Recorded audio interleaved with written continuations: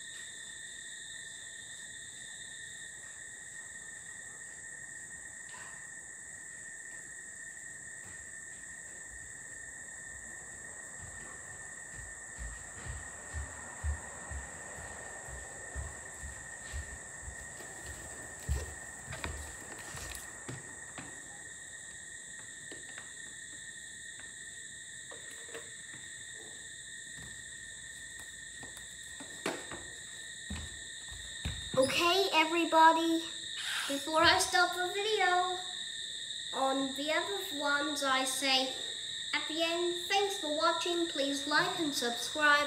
Have an awesome day, and we'll see you in the next one. I've got a blast off actually.